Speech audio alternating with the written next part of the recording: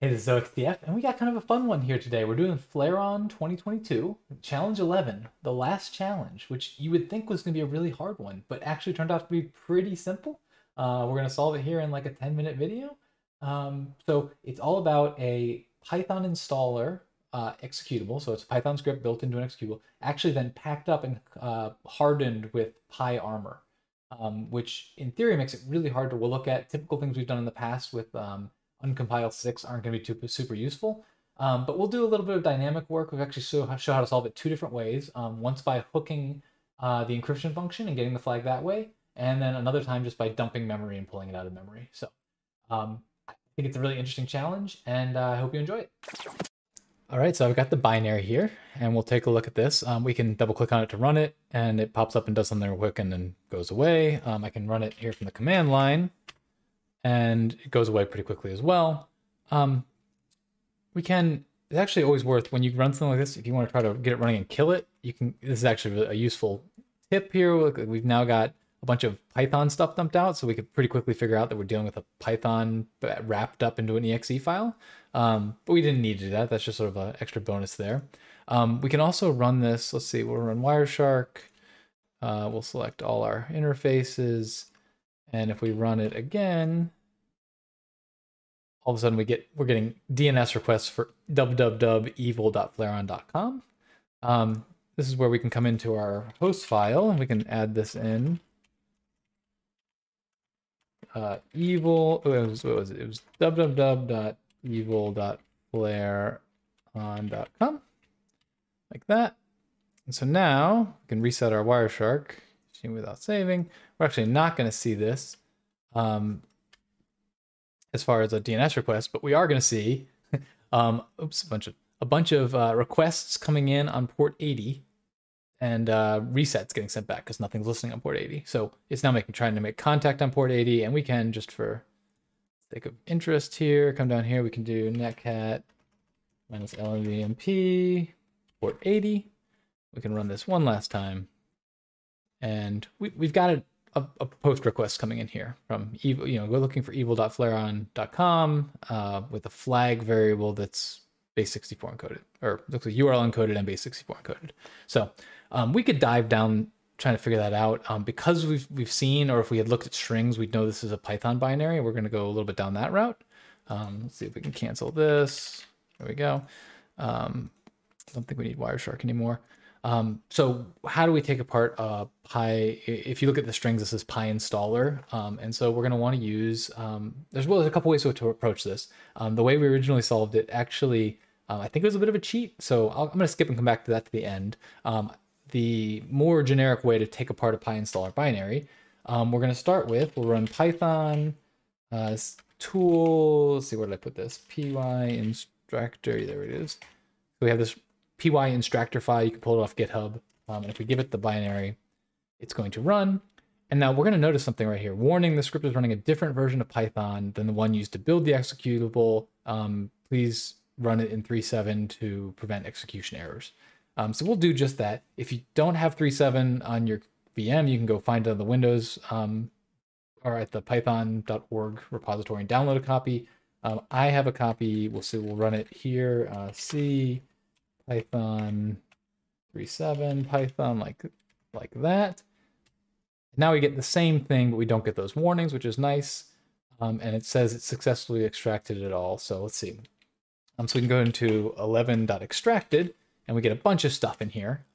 Um, most of the stuff, you know, so what PyInstaller does is it bundles everything it's going to need together to bring along with it. Um, this PYC file, 11.pyc, looks like a good uh, place to start. Um, the rest of this stuff all looks like kind of DLLs, um, different modules and things. Um, so we can, let's see, the first thing we could do is we could try to uh, uncompile this to get code back, right? So we can do uncompyle6, which is another thing you can just grab off GitHub, uh, 11.pyc, and it's going to give us the Python. Unfortunately for us, this is wrapped in PyArmor.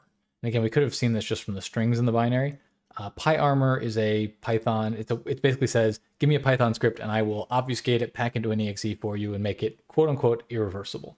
Um, so we've got this. It's not long, but this PyArmor script is the script. Um, So how are we going to attack this?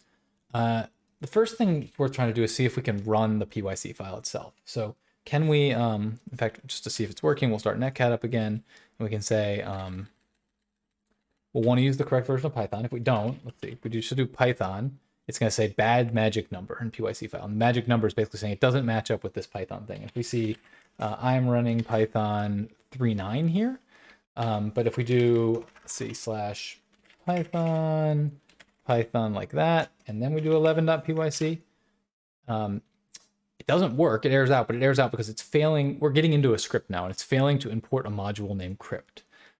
If we're just trying to get this working, we can actually copy. Let's see, if we go in here, um, there is a pyz um, directory, so pyz extracted. So pyz is like an archive of compiled Python stuff. Um, and the pyz extracted, uh, py inst whatever the extractor we ran is, py inst extractor, something like that, um, is going to pull out those as well. And we can find the crypt.pyc right there. And if we just copy that into our current directory with the pyc with with the uh, 11.pyc, and we run this, we can see we're back. We, we're back. We got it functional, right? Um, but we, we had that before. Right? We can just run the exe. What does that bias? Um, what we want to do here is think about, okay, well, what can we modify?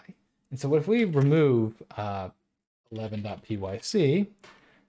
Oh, no, I didn't want to remove that. Shoot. Uh, come up here. Where's my, uh, that will re-extract. Sweet. Um, if we remove uh, crypt.pyc, much better. Um, and now we run it again. My extractor right there. We run it again. We're back to getting the failed crypt. Um, so let's make the crypt, right? So we'll do notepad plus plus and we'll do crypt.py. Doesn't exist. Do we want to create it? Sure we do. And we will just literally put in here pass, which is Python's word for do nothing. So now we're going to import this file. It's going to do nothing and it's going to go back successfully. Uh, so now if we run this, we're getting the crypt module does not have an attribute ARC4. Um, so it's clearly trying to reference an ARC, a crypt.arc4. So let's create one. So we'll create a class ARC4, and we can say um, def init, because we know all, all classes have an init, and we'll just say self. Now it could take arguments, but we're just going to take a guess for now, right? Let's we'll let the error messages be our guide. So we run this again, and now we can see uh, the init function takes one positional argument, but two were given. Um, so it's always going to take self because it's part of a class, but init two were given means it tried to give it something else. So we'll call this like arg, and we'll make this like print arg. Let's see what that was. And we can see here. So cool. Okay, a couple things happened here. One, we can see right here, it printed out, oops, PyArmor protecteth my key. um, that is what's getting passed into the ARC4 class. And then it's getting an error and it's saying it doesn't have an attribute, the ARC4 object doesn't have an attribute encrypt. Um, so let's come down here and we will say def encrypt. Um, now we can guess there's probably gonna be some arguments, but again, let's just, uh, for the sake of argument, not put them here. And we can run this. And so we're still getting our key printed out. And now it's saying, well, encrypt takes one positional argument, but two were given. So I've got it taking one, two were given. We'll again say arg. Now, almost certainly this is the thing that's getting encrypted, but let's continue for now. Um, we can save that and run again. And now we're getting up somewhere else. We're getting pushed into a thing here where it's saying a bytes-like object is found, but none type was returned. Now that's probably because encrypt was supposed to return something and, and we're trying to deal with it. Um, there's a couple ways we could attack this. For one, let's start I'm interested in knowing what was getting passed here. So I, I could do my print arg again. In fact, it's kind of anticlimactic because when I print arg, I print the flag. And so what it was actually encrypting was the flag. So we, we've solved the challenge. We're done. Um, we could also try some things where we do things like um, we can do import PDB. So that's import the debugger. I'm kind of curious. I actually have no idea if this is going to work or not. What happens if we run this now? Um, okay, so it didn't help us. It, I was hoping that maybe PDB there would hit us on this crash later, and it didn't. Um, we can definitely do like set uh, pdb dot set, oops, not dot set trace like this. And now when we import that, we'll print the arg, which we did. And now we're in here. Um, if we list, you can see where we are. Um, I don't know if we can step out of this. I think I think we can't. Um, yeah, because if you just try to um, continue running, it's going to fail. Let's see. Um, let's try one more thing. We queue here and we step. Um, the next thing that gets called is base 64 encode on S. Um, do we have a list?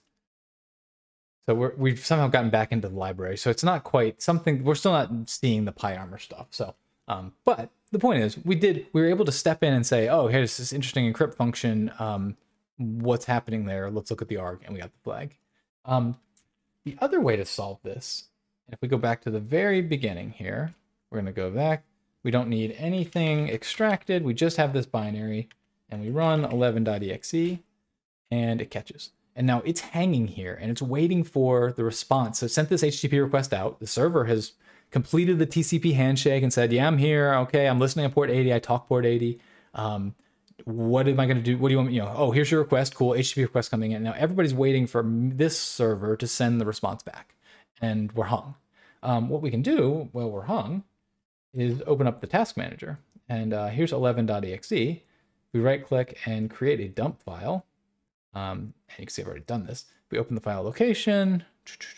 Here is 11.2.dump, the dump we just made. Um, I'm actually going to open this up in uh, HXD, my hex editor of choice on Windows. And if can I just drag this in here? I can. Sweet. So we've got this dump file, and this is this is the process memory of this uh, process while it's running. And so if we come in here and we do a control F for search, and we can say like, what, let's we're interested in flare, right? Because that's that's a string we always want to find. And we hit search all. Um, we can see there are 26 results in memory right now with flare. And if we just start scrolling through here, we'll notice right quickly, like look at this. Here we are in, uh, we have at flareon.com. And you can see right here, we actually have the full flag showing out right there. So this was one, um, we were kind of laughing how quickly we could solve this one because you just literally, uh, if you run it and dump the memory, you get the flag. So um, I don't think they intended us to be able to do that, but uh, again, when you're dealing with these um, frameworks that are going to encrypt things, this is a valuable technique. You want to look through memory and figure out what's going on. You get the, the hardest part is going to be making it crash in such a way that you can get a dump. You know, in this case, we benefit from the fact that we can control the web server. We can have the web server kind of hang responding, which gives us time to do that. Um, maybe that won't always be the case, but um, yeah. So with that, uh, I'm going to call the video here. Hopefully you enjoyed this. Uh, it's the last challenge in Flare-On. It was not the hardest but this year by any means, but uh, enjoyable and hopefully a useful lesson on how to attack um, armor binaries. So with that, thank you so much for sticking around to the end, and I'll talk to you next time.